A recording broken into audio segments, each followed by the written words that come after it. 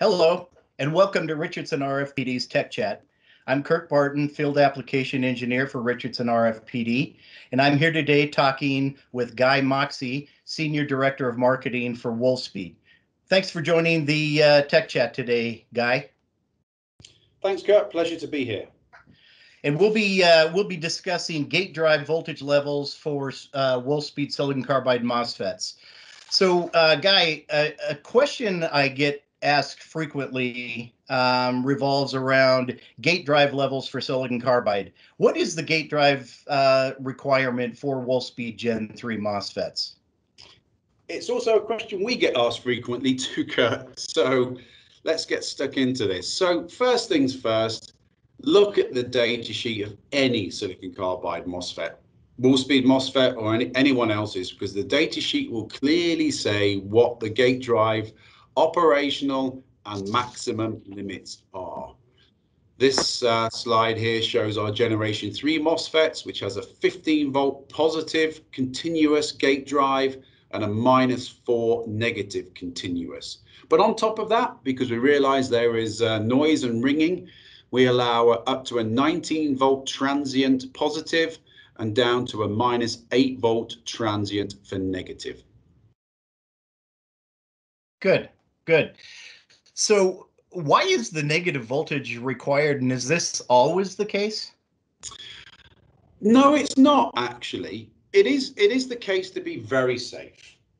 Because most silicon carbide MOSFETs, due to their properties, have thresholds in the region from 2 to 3 to 4 volts, and threshold generally comes down, well, it does come down over temperature, taking the, the gate drive negative ensures clamping that device firmly off. However, let's look at the circuits you're going to use. If you have a typical asynchronous circuit, like an asynchronous buck or a boost or a flyback, something of that nature, where you have a single switch and a diode, the diode is the free wheel, then you are not going to get any spurious turn-ons or transients. And a zero volt there can be absolutely safe. In addition as well, if you're using a half bridge and a resonant soft switch topology, again, zero volts can be very safe.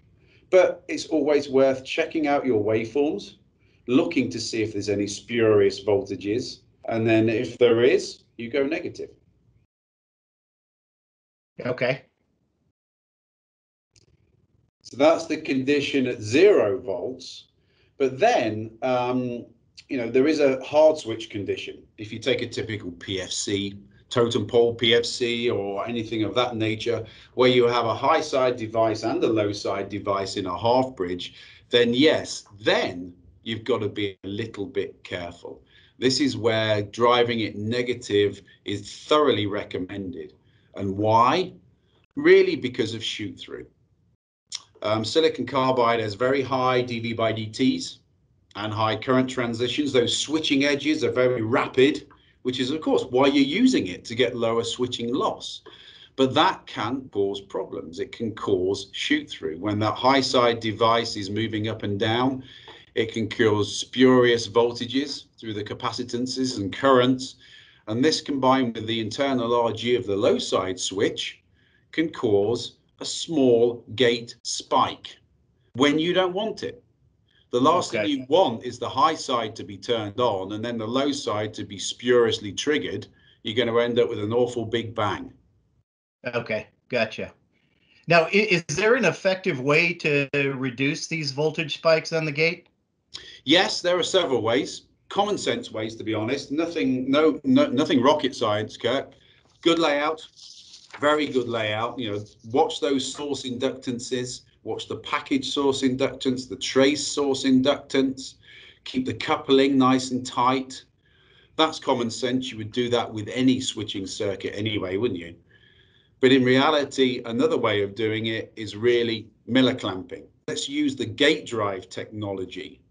And what you can do, you can get gate drives now on the market for silicon carbide that have Miller, what they call Miller clamps. Um, this particular example here shows you one we've used with our friends at Analog Devices. and the left-hand plot shows shoot through occurring. It shows a basically a, a, a low a low side gate spike of up to three volts. Now, if you've got a threshold of two volts and you've got a three volt spike, you may encounter some problems. What the right. Miller clamp does is basically um, clamp out that uh, the Miller capacitance and the, basically the stray inductance, and it clamps down that effect. So shoot through still happens, through spike to one to, to one and a half volts, which is well below your threshold. So you're not going to have to worry about that low side device turning on. Okay, good. Um, any anything else you'd like to add regarding uh, gate drive levels, Guy? I think just generally common sense.